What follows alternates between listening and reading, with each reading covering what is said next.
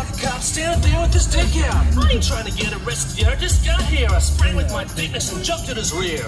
I whistled for a cab, and when it came near, the license plate said butts and there were dicks in the Anything I could say that this cab was rare, but I thought, nah, forget it. Yo, dick in my butt!